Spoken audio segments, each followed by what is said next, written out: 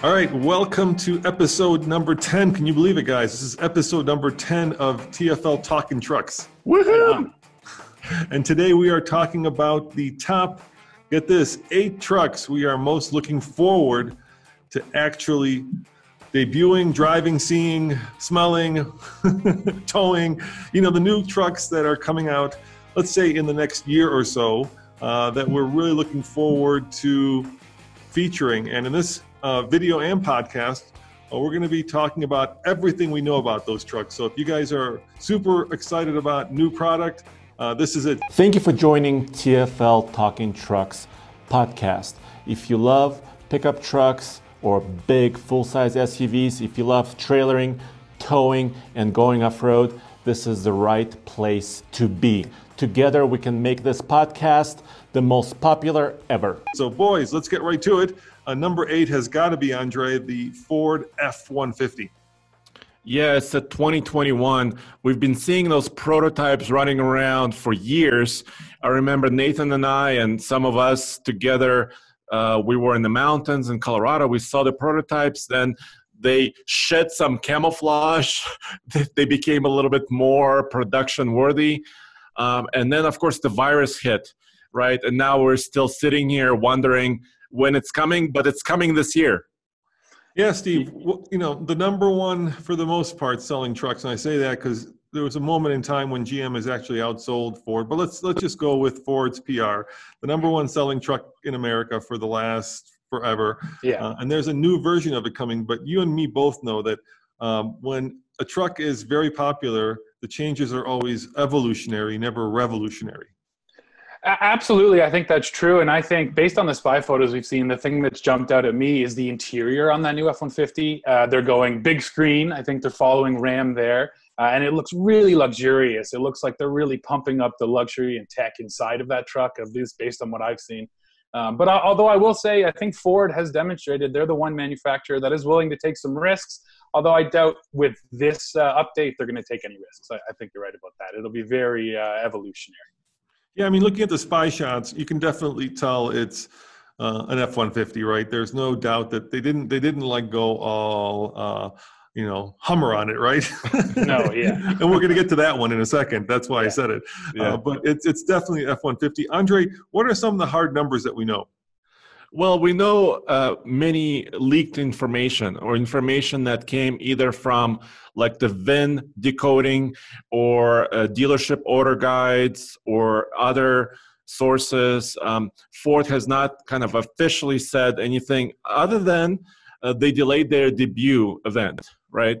Uh, but what we know, what we know is sort of the power plant list or the selection of power plants that the truck should have we know that the five liter Coyote stays, uh, according to leaked information, which is a great news for all of us V8 lovers.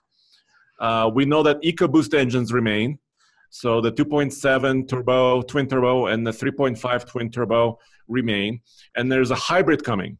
So this hybrid is supposed to be 3.5 liter EcoBoost with an electric system uh, built built into it. Uh, we don't know a lot about it, but recently uh, one of the Ford PR managers uh, said that the system is going to be similar in sort of interworkings to the new Ford Explorer. So the 10-speed automatic should be there, and you know a smaller battery should be there as well. Yeah, Steve, let's talk about the, the hybrid. I don't think it's going to be like Ram's e-torque, right? That's just a mild hybrid. That's a 48 volt system that, as far as we can tell, doesn't do much except yeah, for stop start. I was worried that Ford might go the e-torque route, but you know, it definitely sounds like this is a much more uh, legitimate hybrid, and uh, it's it's exciting. I mean, we've had hybrid pickups in the past, but nothing that's ever really shaken up the market. I would say nothing that's really moved the needle. And if, uh, if one company has a chance to do that with a hybrid, I'd say it's Ford. So it's certainly exciting to see them uh, going that direction. Yeah, I mean, remember 10 years ago, GM came out with their hybrid and they actually yeah. put it uh, in a bunch of different applications. And it was always a head scratcher because you were like, uh, what's, why do you have this? It, it doesn't give you better fuel economy. It doesn't give you more towing. All it gives you are these big orange cables that run throughout the engine that seem to do nothing. yeah, exactly. I mean, a lot of people reported a one mile per gallon, uh, you know, difference with the hybrid. It's like whoopee, and you're paying a bunch of money for it. It was mostly just to tell your friends you bought a hybrid, I think. Yeah, and they did have these big hybrid badges on the side, if Of I remember right, course. just so people knew that you were you were a trucker and you were green. but um, do you guys think that you know with uh, what's happened in the world over the last two months that people are going to i was just reading a story basically saying that, that people are going to go much more green right because they're seeing what our environment looks like and i'm looking out the window uh, now that there isn't as much pollution out there. I, I think that's going to actually speed up the adoption of hybrids and electric vehicles. And you know ford has rumored to also have an electric truck coming right? They've partnered with uh, rivian. Um, so what's your call andre? Do you think we're going to see a faster kind of rush toward hybrids and electric trucks? I was hopeful, but not so much right now. And the reason why my uh, optimism is going down a little bit is twofold, right? So the new hybrids, especially the F 150, I see that as being a premium offering. I don't see them rolling it out as a base truck. Um, I, I, think uh, it costs money, right, to introduce that technology for the first time. Um, so it's not going to be a cheap truck, and I don't think a lot of people are going to be able to afford it right away. I think down the you know couple of years down the road, maybe. Um, and also, fuel is really cheap right now. Yeah. so uh, for the next few months, uh, you know, people might be buying that five liter Coyote, you know, and and then and then looking at hybrids later. Yeah, and we, we've proven with our Tesla videos that um, electric trucks don't really do very well both off-road or towing. At least the Tesla Model X doesn't do well. Maybe electric trucks will do well. We'll leave that for other trucks on our list. Let's go to number seven, Steve. Um, you know, about a month and a half ago, uh, GM put out this startling image of the new Hummer, right? And it was Yeah. an all-electric uh, truck. Uh, and then we found out, and we were supposed to go on, I believe, May 25th, right, Andre, was when we were supposed to go and actually watch the thing be unveiled. Uh, and because of, of course, COVID, none of that happened. And, and so last week, uh, they teased us with another image, which was kind of a drone's eye view of this truck running through the forest. Um, So we know that GM is working on an electric Hummer. Um, is, is it smart move to call their truck a Hummer or not, Steve? It's it's a it's a crazy move, man. I couldn't believe it when they did it. It's uh it's a gamble. I really do think it's a gamble, but I think the kind of the cleverness in it is that they're really flipping Hummer, you know, right on its ear. Hummer is going to go from being a brand that's known for being this huge, massive SUV that drinks tons of fuel to being an electric vehicle, right? They're really just totally changing the idea behind the brand, and I think that could work for them. They could kind of catch people's attention that way. Uh, and then, you know, beyond that, I love the fact that it's called a Hummer because that means it has to be good off road. You know, they cannot build a Hummer that sucks off road. And if they do, I will be mad and I'll call them out on it. But I'm excited for that thing because it's got to be good once we uh, get out there in the mud. All right, Andre, as an H2 owner, would Yes. you be willing to trade in your H2 for an electric uh, truck? I, I think I would. Absolutely, I would. Once again, I don't know how affordable it will be, but you betcha I'll be there, you know, as soon as they unveil it. And as soon as, you know, it'll be on TFL Truck, TFL Off Road, it'll be on every channel uh, because it's a risk taking move. I agree with you guys. But I think we don't have a lot of risk takers in the automotive world, you know, from the traditional automakers. So I, I, I want to applaud GM for actually doing this. And I think uh, with some of the other off road trucks coming out, I think it's a smart move to actually get this going. And they, so they delayed the debut, but they're saying the production truck will still come to fruition at the end of 2021. So Yeah, it should be like a 2022 model year. Um, and they haven't delayed production yet, which is, and we know that GM has the capacity to do this because remember uh, the Chevy Bolt EV, they only had about two years to get it to production, and they did it, and they did it full force. So um, I think they can do it. And if you're wondering about what we know about it, the answer is not much. I mean, they haven't released anything, right? They've just shown us the picture, which is um, basically a very reminiscent Hummer-like chromy vehicle that uh, is supposed to be electric. So, you know, battery power we don't know, range we don't know, charge time we don't know, MPGE we don't know. We just don't. They did know a release lot. some crazy horsepower and torque numbers, but even those, like the torque number is a little dubious. We need to find out more about it before we can say 11,000 pound feet is the legit torque number. So, yeah, we Yeah, need to so- wait for the debut to really, you know, learn It- more. Yeah, it's interesting. We'll talk about it at the end of the show too with Rivian, right? Uh, but uh, now they're quoting grounded torque, which means uh, the torque coming from the electric motors multiplied by the gearing.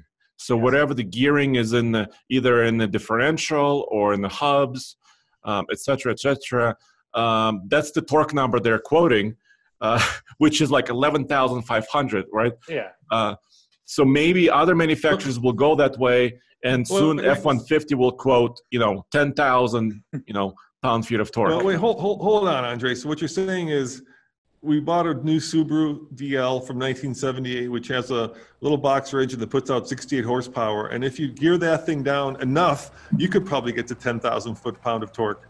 Yes, and you could race that Hummer. you might be going very slowly, but you might be able to do that. All right.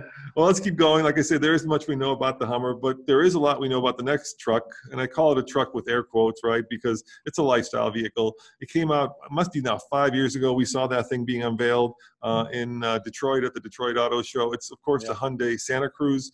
Uh, and uh, What's your call on that? Is that going to compete with other trucks, Steve, or is it going to be more of a Ridgeline competitor, or is it going to be, you know, echoing back to the old Subaru Brat days? I mean, El Camino the, days. the obvious competitor is the Ridgeline. Uh, proportions wise, it even kind of looks like a Ridgeline a bit. Um, and, and, then, of course, I'm sure if you ask Hyundai, they're going to tell you it's going to compete with every other midsizer on the market. Um, obviously, the biggest difference and the big argument in this kind of uh, you know ongoing battle is body on frame versus unibody this is going to be a unibody pickup. It won't be body on frame, just like the Ridgeline. It'll be unibody, and I don't think that's a bad thing. I think that there's a world that uh, totally has a use and a purpose for a unibody pickup. And uh, if Hyundai can do one thing better than I think Honda can, it's value. It's offer a whole bunch of value in a, in a pretty cool midsize pickup. So yeah, I'm, I'm excited for Santa Cruz too to see uh, what kind of packaging they really come up with. Now, Andre, we've seen uh, spy photos of it uh, running down the desert. It looks pretty good, but the, the thing that I think for a lot of off-roaders separates the Ridgeline from the other mid-size trucks is the lack of uh, low transfer case, low speed transfer case. Mm-hmm. And we don't know if the Santa Cruz is going to have a low speed transfer case, but if I were a betting man, I'd bet no. I would agree. Uh, I mean, they have really clever all-wheel drive system um, in some of the other crossovers, SUVs. So I, th- um, I think they will use that likely. Uh, but we've been teased for so long with the Santa Cruz guys. I remember, like yeah. you said, five years ago it was in Detroit. It was exciting uh, at the time, but not anymore. it's a good name. yeah. At, at, this point, you know, I'll believe it when I see it. Uh, the good news is that just like yesterday, uh, there was another spy image of uh, the actual body with no chassis attached to it, but the actual four door cab being transported in some shipping yard. Um, so that's our best look into the future and to say that you know it's actually coming it's actually real yeah um, so i'm i'm pretty excited but i think it's going to be more of a ridgeline competitor truck uh, a little bit more kind of a city dweller you know a person who lives in the city who needs a little bit more utility in a their beach truck. truck. Beach truck, right? You throw your surfboard in the back, or you yeah. take it to the garden center. Do we know what power plant we'll have, Andre? No, not really. We don't we don't know a heck of a lot, but I think it will be kind of based on a Tucson Santa Fe, you know, kind of power plants. So and they have a few choices. So I, I think uh, it might be turbocharged, which should be pretty good, uh, gas turbocharged engine. Uh, but there's a lot of action in this space, and we'll be talking a little bit more about this. Um, the other item I wanted to bring up, which is newsworthy, is uh, FCA has just tr- uh, renewed their trademark for the Dakota. Awesome. Remember, for, for, months and years, we've been talking about the Dakota, but we don't know anything about it really, uh, which way they're going to go, but it might be a crossover truck as well. Yeah, you know, the crazy thing about the Dakota was it was one of the few mid-sized trucks that actually had a V8, right? And so I think for any um, fan of V8, having a mid-sized truck that has a V8 uh, is a huge um, carrot uh, on the end of a stick, right, Steve? Yeah. And if there was one brand that was going to do it, you guys know it's FCA. I mean, they love shoving V8s into everything they can. Uh, I, I kind of hope the Dakota will end up riding on the, the Gladiator platform. I mean, I don't know if that'll be the case, but uh, yeah, we'll have to wait and see. Yeah, and speaking of the Gladiator, that's our next truck's number five one on our list. And of course, that is the Gladiator with the new Eco Diesel uh, that is in the Ram. Um, mm-hmm. And um, we've had that uh, diesel in the Wrangler. It was actually here like maybe three weeks ago, so we know a lot about it, Andre. So, what are the numbers on the uh, diesel, at least in the Wrangler? Yeah, it's pretty huge, right? So they took the engine from the Ram 1500. It has different tuning, right? So it's not quite the same, but 260 horsepower and 442 pound-feet of torque. Those are huge numbers. Um, and just just as of like a week ago, Jeep and their official statement is still that it's coming by the end of the year.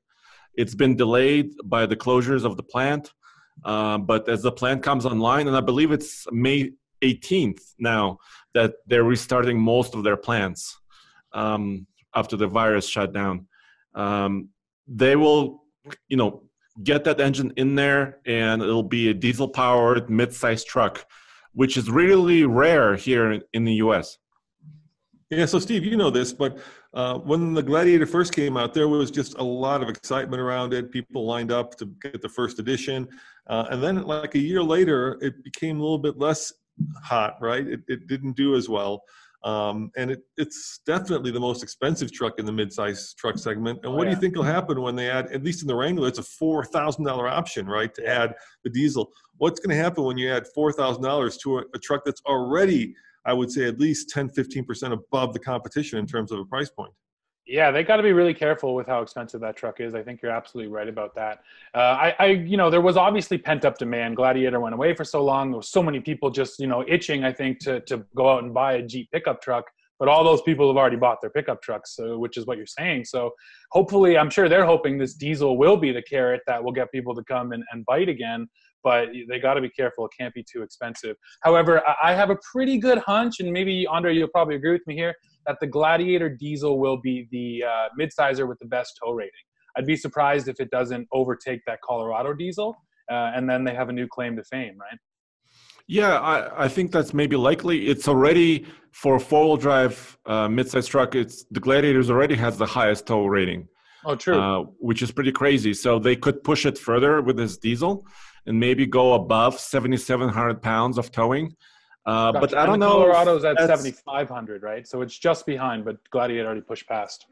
Yeah, uh, but the diesel, uh, but I don't think the Gladiator diesel is really should be looked as a towing truck. Yes, it can tow, it will tow, um, and we'll be testing it.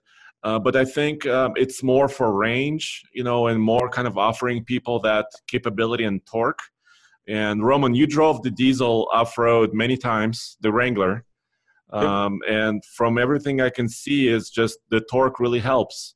Yeah, it's uh, kind uh, of a, truck. it's kind of a story of uh, of two vehicles, right? I mean, if you guys are looking to to to to, to lift your Wrangler and put on big tires, uh, then what ends up happening with the Pentastar and the two liter is you end up running out of power. So you got to either supercharge or tu- turbocharge the Pentastar. I don't know, maybe tune the, the two liter yeah, uh, to get more po- power. But with the, with the uh, diesel, you don't have that problem. It's got so much torque. The problem you do run into in the Wrangler quickly is payload. You guys know that. I mean, basically, I think it's got like an 800 some pound payload. So it's four friends and a fat dog, and you're done. Mm-hmm.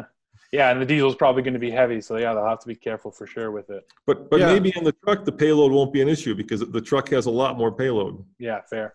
Well, let's hope so because uh, some of these off-road trucks, especially you know specialty ones like the Gladiator, Rubicon, and the rest of it, they they're not known for payload.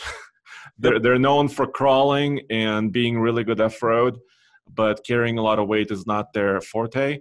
Um, but Roman, you said that they're not doing too well in sales, but they still sold about 40,000 trucks in 2019, which I felt like was a good result for them considering how expensive these trucks are. Yeah, and it's a, probably a good result, but when you compare it to even Ford, which came, you know, kind of with a mildly lukewarm, warmed over Ranger from Europe, and I think they sold what 90,000 in 2019, basically double that, right? Yeah, but like 75,000 or something like that. Yeah. Right. It was it was you know significantly more. I mean, look, I think what the Gladiator diesel has going for it is wait a little bit, it'll be the only diesel on the market, right? We we we think that what's going to happen is that Chevy's going to go away from their little baby Duramax in the Colorado and GMC because they basically sold the factory that makes it to the Chinese, uh, and so um, the best guess right now is that the new Colorado GMC won't be available with that uh, little baby Duramax anymore. So that would mean that, that the Gladiator will be the only mid-sized truck with a diesel option, at least in America. I know you guys in Europe get a lot of different diesels. We don't get those. right. Yeah, in, a couple years that may be true. Should we move on to number four on our list? Yeah, four. Number four is an interesting vehicle. It's basically a vehicle we've been calling the Courier until last week, where all of a sudden we started calling it the Maverick. It's it's that mini truck that Ford is rumored to be developing that slots in under the Ranger. So, Steve, tell us about the Maverick. What the heck is this thing? So yeah, once again, uh, almost like the Hyundai, but it actually sounds like it'll be smaller, real compact pickup. The Maverick is going to be a, car-based Ford pickup truck. Um, the the platform, the rumors have gone kind of back and forth on what it'll be based on, but it sounds like it'll be based on the same platform as the Bronco Sport, which is also the Ford Escape, and then I think uh, maybe a Lincoln vehicle or, or another crossover as well. Um, and it's yeah, it's going to be just a, a small crossover pickup truck uh, I think it's awesome that Ford is getting into this market as well. And once again, if there's a company that's going to take a risk, it's going to be Ford. And Ford also said they're going to stop making cars, so why not start making small pickups too to fill in that that gap of uh, that's going to be left behind by their small cars going away. But I want to I want to toot our own horn a little bit, and I want to thank we had an anonymous source, yeah. right? That's that sent us this uh, basically three dimensional uh, rendering of the tailgate uh, on this Maverick, and uh, we were the first ones with the story. So, so I really appreciate the source, and I really appreciate that, Stephen, you broke the story. Is, yeah, is man, I was room, happy to do so. Is there room in the marketplace, Andre, for a compact pickup? Is this something people want? I mean, this is a city dweller pickup, right? Most pickups are sold in Texas, one out of four. You think the, you think the guys down there and the gals down there are going to cotton to this little tiny ass uh, Ford running around? I don't think I don't know if the guys in Dallas and gals in Dallas and the rest of Texas uh, will go for the Maverick uh, because they can drive their F-150s, right, and their Super Duties, uh, which they love. But I think there's still room because what's happening is uh, mid-size trucks are getting a little bit bigger and bigger.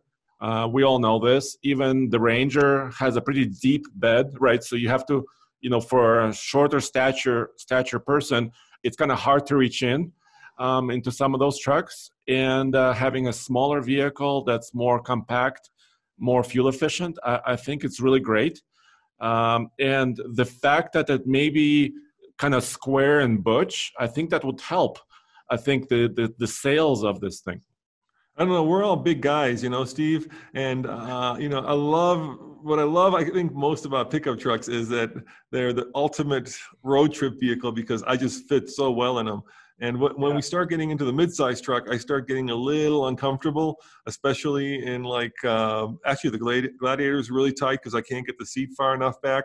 Um, so what's going to happen when when you know me all three of us are going to have to squeeze into a Maverick, which is going to be even smaller. It, it won't go well. it won't go well. Yeah. But you know what? You're absolutely right, uh, and I think it's a narrative we talk about a lot. How the pickup truck, especially in America, has become the family vehicle. Like it's become the number one family vehicle at home.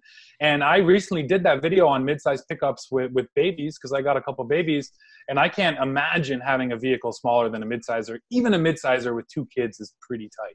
Like a half ton crew cab these days is almost, it almost feels necessary to have your family in. Um, so Ford's going after that family market. Yeah, I'm, I'm not sure they're going to really get any takers. Yeah, I think. Put the surfboard back there. Uh, take it, you know, to Redondo Beach. Uh, but as you know, as a as a as a truck that's used the way that typical trucks are used right now, it's going to be a tough sell, I think. Yeah, but I think the price will be important. Mm-hmm. If they can make this thing start at under twenty thousand dollars, which yeah. they might be able to do somehow, uh, because look at um, the Ranger starts at what twenty five grand. Um, other, you know, F one fifty starts at twenty eight and change, and on and on and on. I mean, F one fifty you can they go up to like seventy thousand bucks and more for a Raptor. So I think if you can get the value down um, to a lower entry price, I think that's going to be important. All right. Well, let's go to a truck that is actually coming, and we know a lot about it. And a lot of these trucks are probably a year or two years out. Uh, but the next one is hopefully going to be here by the end of the year. And I'm talking about the new Frontier. We know what the power plant is, Andre, and we know what the transmission is because we've been driving it. Heck yeah. Um, basically, what happened for 2020, uh, they took the old truck, the old Frontier, and they stuffed a brand new heart into it, uh, which is now the 3.8 liter, uh, normally aspirated, naturally aspirated V6.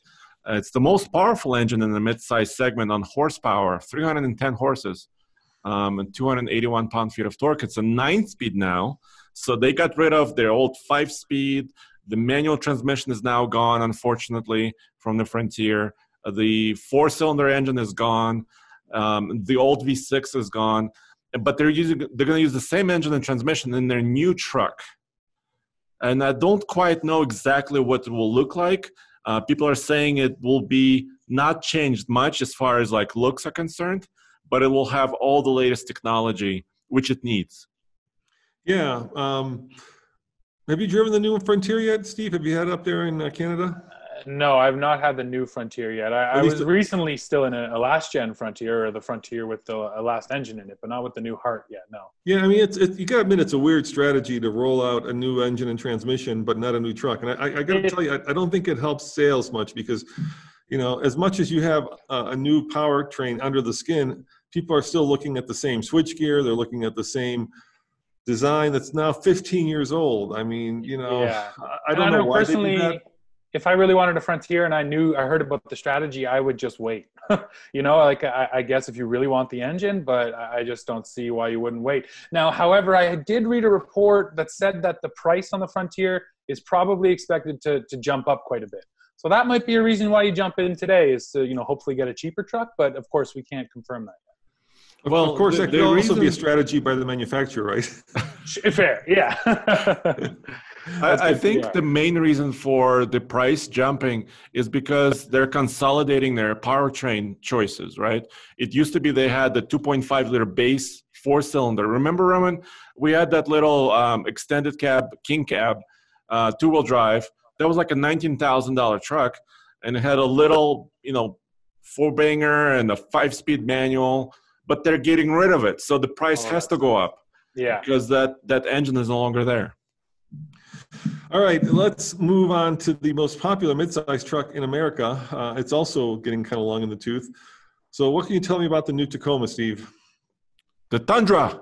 Oh, the oh, new Tundra. Yeah. Sorry, not the Tundra. I, I, I, my brain is Toyota and automatically went to the Tacoma because the Tundra has, has been around for so long. It's such an old truck. So the, the Tundra is supposed to, the new one was, we thought was going to come out in uh, Chicago. Yeah. This year, the Chicago Auto Show, and it didn't. I do feel like we've been hearing about a redesigned Tundra for a long time now too, and rumors about what's going to come to the Tundra. And uh, I mean, I guess the quickest roundup is uh, hybrid. Sounds like it's maybe coming to the Tundra, and then diesel was the rumor for a while, but I kind of feel like that's gone away. It sounds like uh, Tundra hybrid is going to be the way they're they're going to go. At least that's what I've. Yeah, the, the strongest information we have about the Tundra, and Toyota has been very hush hush about this. I mean, they're very. Um, they're still developing the truck. Mm-hmm. Um, is that they're going to be going with a 3.5 liter twin turbo V6, and it sounds like deja vu because that sounds like exactly what the F-150 has and had for several years. But they've also been working on this twin turbo engine. It's in, currently in their Lexus cars, um, and it's proving to be powerful. You know, and very um, I don't know exactly how durable it is, but Toyota is always has an eye for durability, reliability. So I'm sure that's why they're kind of holding this new truck till the end of next year is when it's supposed to come out, end of 2021. Um, but we do know that they uh, should offer more options like a crew cab with a longer bed. They don't have that available right now. Um, and maybe a tougher truck, maybe a truck that can have more payload, uh, just more towing. Yeah, what do you think of the uh, hybrid? Will there be a hybrid? I mean, Toyota has the original hybrid, Steve. So I can't, I can't imagine not having a hybrid Toyota in the next generation Tundra. Yeah, they're the right brand to do it. Uh, my question is just why is it taking all so long? You know, I feel like we should have had all this stuff a little while ago. And and and whether or not you know maybe it's a bit of a struggle from you know between Toyota Japan and Toyota North America where they're just not really backing the Tundra. I, that, that's kind of what I've always got that sense. Um, but yeah, I just I think the hybrid will be excellent. I think twin turbo Tundra sounds amazing. I just wish it was here already. Is the V8 going to stay, Andre, or is that gone? Well, all currently all information we have points against it. It it points against uh, the V8 staying. And um, I know a couple of guys has emailed us and said, "Well, what about what about other V8 options that uh, Toyota has?"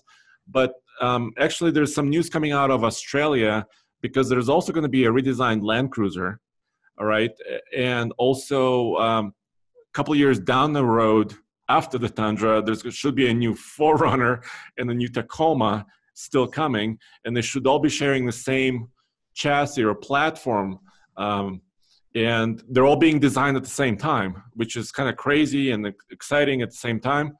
Uh, so I don't think V8 will stay because of just fuel efficiency regulations, right? Uh, going forward, and if they can make crazy power with those turbo engines, uh, why not? All right, and now our number one truck, but not our last truck because there's a bunch more. But our number one, because we got a bunch of bonuses. Our number one truck, of course, has to be the one that's probably going to be here the soonest. It was supposed to be perhaps unveiled already because of the coronavirus. It didn't happen, but we're talking about, of course, the Ram TRX, and what that is. What that is special is because um, it's going to have a detuned, we're thinking Hellcat motor in it. So a Hellcat truck uh, that actually, after what is it now, 10 years, 10, maybe 11 years by the time it reaches production, will compete against the Ford Raptor. So a true and honest Raptor competitor, perhaps a Raptor killer. Uh, taking on the Raptor at its own game. Uh, and that is going to be uh, an interesting uh, truck. So, when is it coming, Andre? Well, um, the latest info said that it should be unveiled in June at the Detroit Auto Show. Detroit Auto Show is canceled. Um, so now we're maybe looking at the end of June for a debut, um, maybe a little bit later. So we'll have to wait and see, but it should be coming this year. But that's another one of those trucks that been rumored what for five years or however many years. Yeah, we saw uh, concept. Stephen, Stephen, what's your take on that? I mean, I'm so excited for it. Of, of course, I mean, you got to Hellcat all the things. That's FCA's strategy, it seems, and they're working their way through the lineup. So the Ram is just next. Uh, and and you know what? If they the engine's great, Hellcat's amazing. We know that horsepower is great. The the bigger thing in my head is going to be the suspension. What's underneath that truck? Uh, and, and, just how fast can it really fly through whoops, right? That's what we love the Raptor for, and that's what it's known for. And that's what we need to know. But but if it does have that Hellcat, I mean, we know it's going to absolutely rip. Like what a just a yeah. what a great choice. Yeah, I mean, modern day SRT10. The Hellcat engine in in the Charger and Challenger puts out 717 horsepower right now. Um, you know, we're expecting it to be down a little bit uh, in uh, the TRX. Uh, why I don't know, but that's been the rumor. You know, they did roll one out out at the State Fair of Texas based on the previous generation Ram. Uh, and so, uh, you know, it's it's a truck that um, we want to buy. You know, how could you not want to buy the what, what should be the most you know let, let, what the Raptors at what 550 Andre horsepower? So this this thing should be at least what 600. Yeah, well, current Raptor is at 450. Yeah, uh, and it's a twin turbo. And there's rumors that Ford will stuff you know a supercharged V8 into the Raptor in order to fight the TRX. Um, I don't have any you know solid information to back it up. But you know the jeep uh, grand cherokee trackhawk has 707 horsepower and they had to beef up the all-wheel drive system and the transmission and every component possible to support yeah. it. But now the truck is heavier right? So i don't know if they can make a full 707 horsepower or whatever 700 plus but 600 plus would be plenty. You know, that'll be yeah. that'll be plenty of power. And maybe you know, and what is it in the Hellcat? It's like 600 pound foot of torque, right? Something like that, if I recall. Uh, and maybe that's why uh, GM is saying that the uh, uh, Hummer is going to have 11,000. They're getting ahead of them. They're making sure yeah. they know. right. All right. Here, here. Quick, quick guess. Okay. Here, first, guess the, guess how many horsepower. Guess zero to 60, and give me the towing on the TRX. This is a guess, so we're just going to guess. And I'll okay. I'll start. I'll start. Okay. Okay. I'm going to go um, 600 horsepower. Okay. All right. Zero to 60 in uh, six seconds. Okay. All right, which is fast for a truck. Oh yeah. Uh, and towing will be, let's go, uh, the, the Raptor's at like 8,000 ish, right, Andre? So I'm going to go, Yeah. it's going to have to go more than that, 9,000. That, that's my guess. What's your guess, Andre? So I'm gonna go with more, more, more. Uh, I'm gonna say about 650 horse. Yeah. Um, it, and by the way, uh, we broke a couple of stories recently on the TRX. First, it'll have different driving modes. Wait, don't, hey, don't go there. Finish your guess. No, no, no. leave me hanging. it- It's important. It's important. Anyway, 650 horsepower, Okay. maybe a demon mode, which will give it more power on tap for a short period of time. And then um, towing Of- uh, acceleration zero 60. five seconds, Okay. five second acceleration time. Yeah. And then um, towing, oh gosh, it's not it's not meant for towing. I would say 8,000. All right. How about you, Steve? Okay, so uh, I'm going to go horsepower, and if the Ram PR folks are listening, feel free to take this idea. Horsepower, 666 horsepower. It has to be, right? uh, and then if we're going for zero to 60, let's call it five and a half seconds. I'll cut the difference between both you guys, 5.5. Uh, and then towing, I mean, it's got to be Raptor competitive, maybe a little more. So let's call it 9,000 pounds. I think that's a solid guess. All right. All right. I, I love that 666, the mark of the beast. Exactly. Like I said, Demon mode, 666. Come on, it's perfect. like I said, most of those most trucks are sold in Texas. I just can't see you bringing the uh, mark of Satan home Or to Your church on. Sunday. taking it to church. yeah, fair enough. it's okay. Andre, what stories did we break? we broke everything. Uh, so it's going to have, apparently, according to this information and the image we received of the dash and of the controls, it'll have launch control mode. So very similar to the Jeep Grand Cherokee and other um, SRT and Hellcat vehicles from from FCA. Um, it'll have different drive modes. We don't know what all the modes are, but we can see on the dashboard that the shocks might be adjustable via the switch. So, which Nice. means it could be a kind of a live setup similar to a Raptor. Um, it and and then the rumor is that it's not going to be Fox. The rumor is it's going to have the latest uh, Bilstein or Bilstein uh, shocks, but adjustable and remote reservoir as well. Um, and uh, what else did we break? Um, we break the price? That's the one. no, that and that's an the bank? issue. That that could be an issue, right? I mean, if this truck is eighty grand or more, um, it's going to be kind of hard to sell a lot of these. yeah, I don't think so. Ram doesn't do 80 grand um, Hellcats. They don't do 80. You know, you can get a Hellcat for like 59 starting. So, I mean, if any company is going to come in and do, you know, a vehicle that's affordable, it'll be Ram. At least uh, a year from after it launches, there'll be a launch edition that might be crazy expensive, right? For all the guys and gals who want the first one. But at some point, uh, Ram is the one company.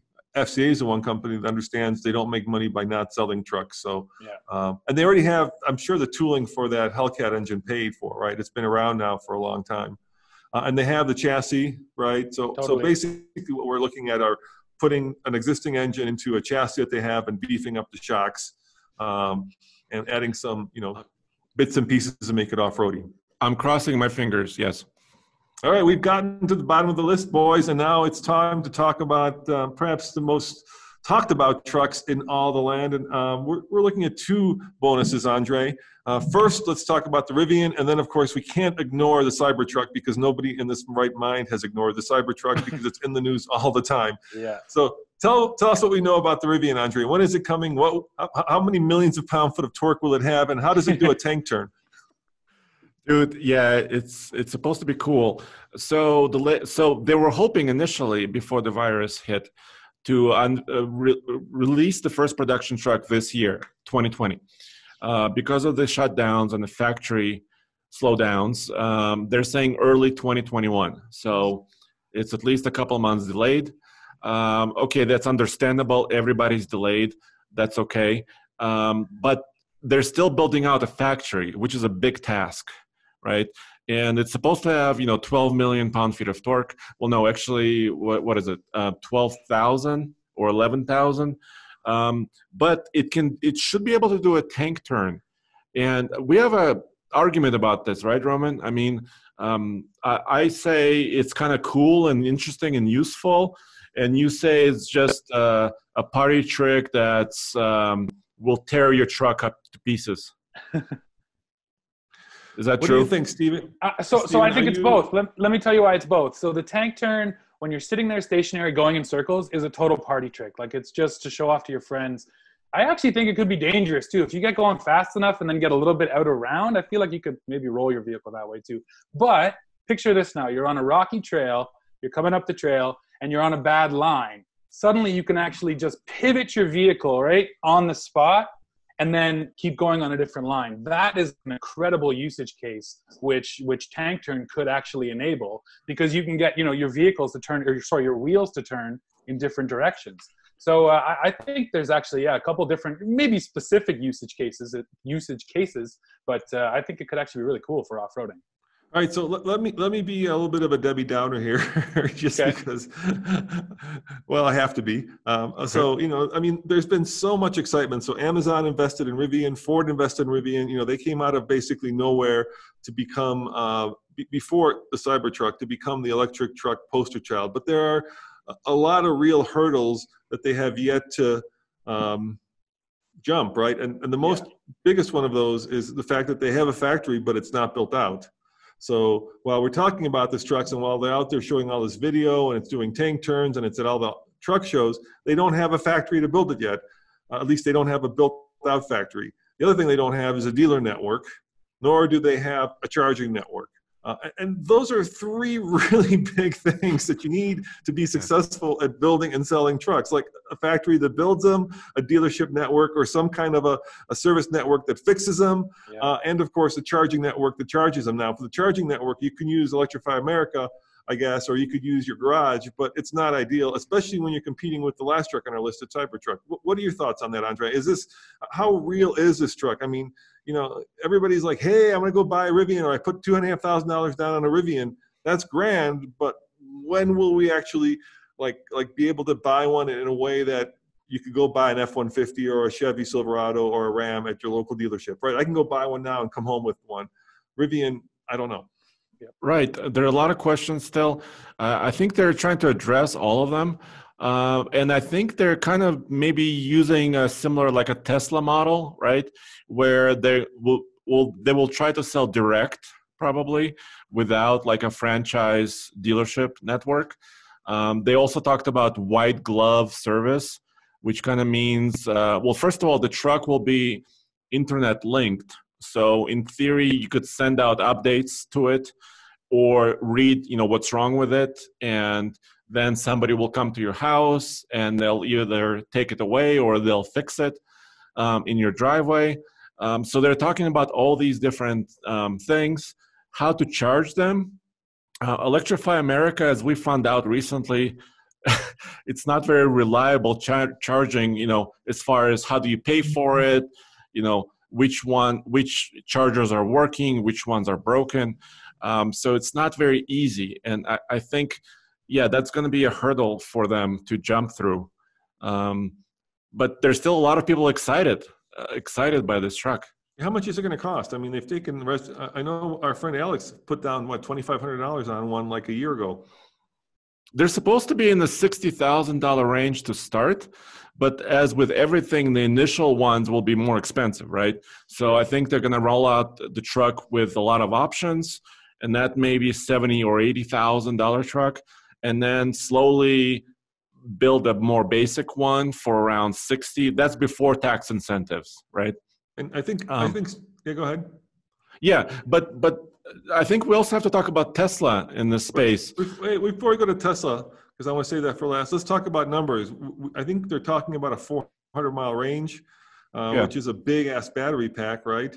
Yeah. Um, and a, so here's here's a conundrum with electric pickup trucks. If you want to use a pickup truck as more than just a mode of transportation, right? Just going back and forth. If you want to use it as a truck, you need a couple things. You need uh, range for towing because you don't want to, you know, uh, be stuck on the highway filling up, and you need payload. Uh, and both of those are potentially problematic for electric pickup trucks because your payload's taken up by the battery weight. So the more batteries you put in it, the less payload you have. Uh, and then if you're actually towing or you know have a lot of weight on the thing, you're using a lot of electricity, which means you're having to recharge it, and recharging time becomes a huge issue because unlike let's say a Tesla where you're and I'm not talking about the pickup truck where you're just driving and you're not towing or you're not hauling. You can just kind of top off and keep going and top off. But when you're using 100% more power towing, then you have to fill from empty to full every time, and then it becomes very arduous. Uh, to cross the country every time you have to stop for an hour to fill up the truck with and that's being generous an hour i mean it could take potentially longer so we don't know how Rivian's going to overcome those issues, and we certainly don't know how Tesla's going to overcome those issues. But let's get to your truck, Andre, uh, the Tesla. Steve, what do you think of the design? That's the thing that broke the internet. yeah, and I mean, I think you just said it right there. That's exactly why it looked like it did. It broke the internet. Uh, my guess, my hunch is the production Cybertruck won't look like that. Maybe I'm wrong. Maybe Elon will prove me wrong. But I, I just think that uh, coming up, we're going to see a whole new Cybertruck that's like, hey, by the way, this is what it'll actually look like. Maybe it'll be similar to that. But and and if you want my opinion, I mean, I think it's stupid. I hate it. I cannot stand it. I hope they don't build that truck. That's my unvarnished truth. so, Andre, what's what's your what's your take on the design? Oh, so the latest uh, rumor or information, and Elon keeps tweeting uh, every day, of course. Of course. Uh, but the latest info we have is that they're adjusting some of the lines. So the, I think they brought the belt line and created more glass space.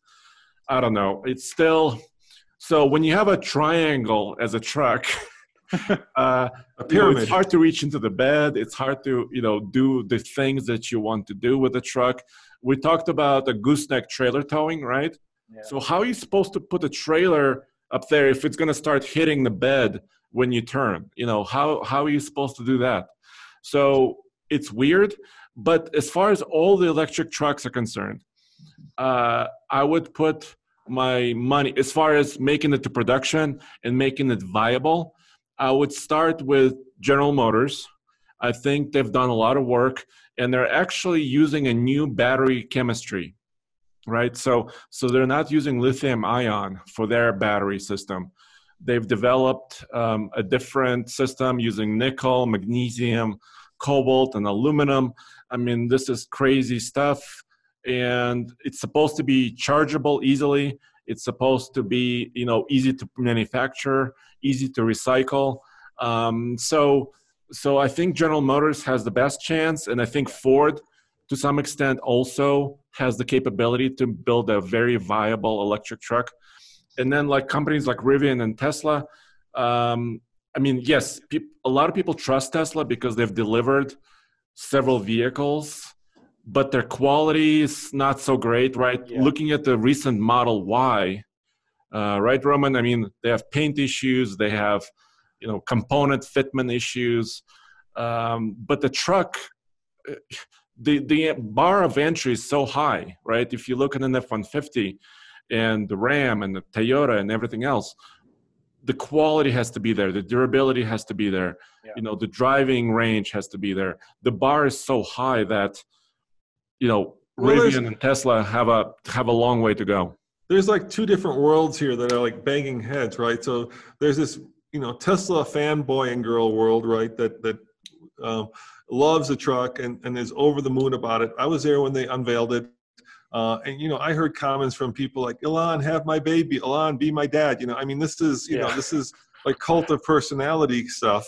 So so there's that there's you know and, and you know he's just created the greatest vehicle ever in the in the and this is what they believe, right?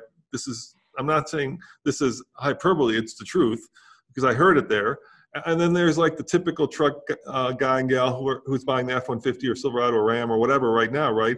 Where they're using it either as a family vehicle or as a um, as a um, you know work truck and those two worlds are, are definitely clashing when it comes to, to the Cybertruck. And uh, the one thing, you know, I got to ride in the truck when they unveiled it, um, and I, I, was very grateful to be there because you know it, it, it, usually we're on the other in the other world, so it was good to see a glimpse into the Tesla world. And we own a Tesla, so let's let's be clear about that. You know, we we want to cover everybody fairly, so you know we're doing our best to cover electric cars and trucks. Uh, but the one sense I got for it was that it's definitely HD trucks, and, and, and those guys have no concept. You know, to them a Tacoma and a and a 3500 is the same. Uh, so yeah, it's definitely you know an HD truck, which gives it a lot more flexibility in terms of the regulations. Uh, but as an HD truck, it's big. I mean, it's got the footprint of an F-150, but it feels like it's twice as big. And and and and it, my sense is that a lot of these guys are like and gals are lifestyle buyers, and once they actually have to live with a full size pickup truck in LA or in New York, they're going to find that it, it's whether the design is great, forget everything else. It's just the size of the thing is Yeah. not going to not going to live well in a major city where a lot of these people live, right? It's just not. Yeah, it's a It's great point. big. It, it, it- absolutely, and everyone complains about big trucks. And when we do talk about lifestyle pickups, they're almost always small trucks. You're absolutely right about that. And I just wanted to touch on you talked about production a little bit earlier. I do think that's the biggest hurdle for Rivian. I mean, don't forget Elon tweeted when he was in production hell. Like he talked about how production for him was one of the hardest possible processes to go through. And I think yeah, until Rivian can prove that they can produce a vehicle uh, en masse, you know, we kind of they're just still they're still selling vaporware really. Yeah, and and uh, Andre, let, let's just touch upon the other trucks, just so people feel like we're not ignoring them. So there's a lot of other electric truck companies, and let's pick four more that we can talk about. Uh, there is Atlis, uh, which, at least in my mind, you know, is just a battery technology company at this point. They don't even have a rolling chassis, so I know they have a concept for a truck, but it doesn't exist.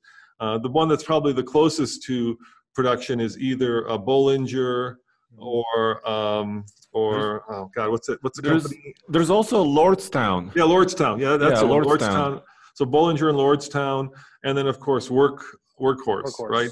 Um, those are four other companies, uh, but they just seem to be very small in terms of their capitalization right now. To bring a new vehicle to market, you don't need millions of dollars. You probably need hundreds of millions or billions. And and I don't think any of those four companies are at the level where they can actually bring a a, a, a serious um, national truck out yet. That's why we're not talking about them. Yeah, well, I, I think Bollinger, you know, to your point, has already made their prices available, and that kind of proves your point. The, the truck's going to be 125 grand. Uh, you know, it looks amazing. It looks super cool. It has a crazy functionality, but at 125k, it's it's not a mass market vehicle by any means. Yeah, so uh, yeah, I agree with you 100%, Stephen. Uh, amazing truck, the Bollinger. It has classic styling, uh, really great capability, uh, really small range. They're saying 200 miles with no payload, right? I mean, that's basically what they're kind of quoting about 210 miles. Um, uh, what I think, oh, here's what should happen, Roman. Ooh, um, sorry, I got excited. uh, uh, the um, Atlis should because they're touting their battery technology, right? How it's going to be super quick to charge, it will have crazy good range. They should throw their battery inside of a Bollinger. So now you have an off-road truck, a proper truck with huge range, and it's easy to charge and all this stuff. Uh, so that's going to be great. On the other side, there's Lordstown, uh, which actually appears to have a lot of backing also as far as capital and they're doing something that nobody else is doing. They're putting their motors in the hubs. So the Rivian has four motors, but they're inboard. Um, so each wheel has its own motor, but they're using drive shafts to connect the motors to the wheels. That's why it can do a tank turn uh, because they have four separate motors. Uh, the Lordstown should have four separate motors, but they're inside the hubs and that's really interesting technology that not many other people are looking into. Yeah, and they're basically going to use what looks like a gm chassis a silverado with hub motors to build their lordstown truck. Um, so that's uh, you know they they they also have a factory that they're retooling. So who knows All right, so let's go down this list and talk about, you know, trucks that are, we're probably going to see this year, right? That we can actually like physically touch and see. Um, so I'll go down the list. You tell me if it's going to be unveiled and if it's going to be like touchable, not like vapor wearable, right? Um, so uh, F-150, Andre, are we going to see it this year? yes touchable Okay. Steve, Hummer EV, are we going to see it this year? I kind of doubt it, even though I think they're on track and they were on track to show it. I, I kind of doubt it based on what's going on. Well, actually, Right. let me let let's reflect refl- raise. Uh, touchable is one thing at a show, but also in production, and I think F one fifty will be both. We will see True. it, and it will be at a dealer this Great year. point. We'll probably see the Hummer. I don't think we'll touch the Hummer this year. Okay. How about the Santa Cruz? Product, producible and touchable. In other words, can we buy it? What I mean by touchable, can we buy it? Probably not. Uh, No, I don't think so. I don't think so, but I hope so. All right, the next one for sure is producible and viable. The Gladiator, right? That's going to be Yeah, Yeah, Um, that's they, doable. they said that a hundred times. okay. Ford Maverick, No, no. Nissan Frontier, I think it will be debuted, touchable, but I don't think it'll be at the dealer this year. Okay. How about the Tundra, the new Tundra? No. I doubt it too. Yeah, no way. No. All right, Ram TRX, Yes and yes. okay, and then the last two, the Rivian and of course the Cybertruck. Nope and nope. No one knows. Okay. All right, guys. Well, there you have it. Those are the trucks that we're most excited to drive. And I got to say, for me, I'm probably the most excited to drive um, the TRX just because I think it's the most complete. I think it's actually sitting someplace in a Detroit garage, um, just waiting to be unveiled by FCA. I think it's actually a real thing. It's just we're waiting for this this moment to, to pass. It's Yeah. like the beast, the 666 that's trying to rip its way out. How about you, Andre? What are you the most excited about? Which one of those? Oh. Well, you you took my you took my thing. You the can say it too. It doesn't matter. There's no rules here. No, the TRX, dude. The suspension, the prototype we saw, and the suspension on this thing, uh, and the power. What? How can you go wrong with that? And how about you, Steve? Well, I won't say TRX, and you guys are going to hate me, but uh, it's the Maverick. Like, I'm super curious to see what the heck Ford can do with a compact pickup truck. Really, like, I have just no idea what it'll be. And you know, maybe that's not excited, but that's the most curious. The truck I'm most curious about is for sure that Maverick. But yeah, TRX. Oh my gosh, I cannot wait to jump that truck. In, in a way, you're right. I mean, the TR. Look, uh, the Maverick is actually you know a whole new segment of truck that we haven't Yeah. seen in a long time, right? Um, everything else is kind of you know a segment that's already been and done. Whereas this is something that's that's you know even the Cybertruck, whether it's a heavy duty or full size truck, it's a segment that exists. Whereas the Maverick, you know, since since Toyota and Nissan came out with their little mini trucks, what was that 30 years ago? We haven't seen those little compact trucks around. Exactly. Uh, so so it is cool. yeah, I can't wait to see what they do. And don't forget about the Subaru Baja. Ever since that went away, they left a big hole in the market. All right, Yeah, are they so going to there's- put, are, there's a are lot gonna be- seats in the back of it? I hope so. There's a lot to be hopeful for. yeah, absolutely. There is really cool trucks coming. All right, guys. Well, thank you for spending uh, you know this time with us talking about uh, our uh, favorite upcoming trucks. Uh, as always, uh, head on back to TFL Truck uh, for more news, views, and what else, boys? Real world reviews. Yes. And don't And- forget to visit Steve at TFL Off Road, uh, where uh, he's busy every day coming up with cool off road trucks, side by sides, ATVs, Jeeps, Deuce, deuce and a halves. Deuce and a halves, Whatever you got. all kinds of cool stuff. And of course, Andre's over at TFL Now, uh, very busy with the latest and greatest breaking news. Uh, so the second, by the way, guys, we get a lot of emails asking us, uh, you know, really interesting questions that we don't know the answers to because if we know the answer, we work really, really hard to publish it either to TFL Truck or to one of our YouTube channels. There's nothing that we know that we're like, hey, did you hear, Steve? And don't tell anybody. That's not our business. Our business is the opposite. Yes. and also, uh, Roman, uh, you are talking to Ryan from Johnson Auto Plaza. Is that right? I hope so. Yeah, we're going to be, uh, be talking about uh, what it's like to be a dealer uh, in this time and what trucks he's most interested in seeing and what trucks he thinks will actually sell. I mean, that's a whole nother conversation we never got into. Which of these trucks will actually sell and which will be, uh, you know, sitting at the dealership collecting deep discounts. Alrighty. All right. Thanks, guys. All Ciao. right, take care, guys. Okay, bye.